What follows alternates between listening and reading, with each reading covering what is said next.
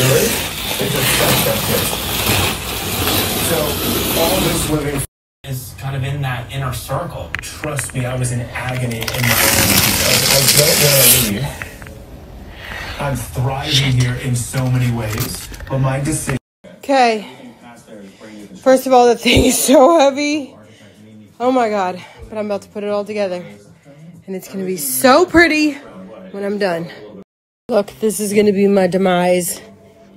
See that little that go, that silver? You shouldn't see that.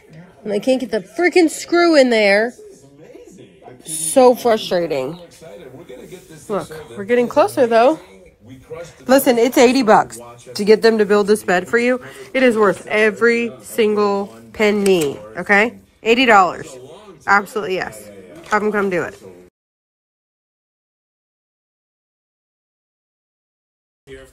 Whoopi screwed in like four screws for me.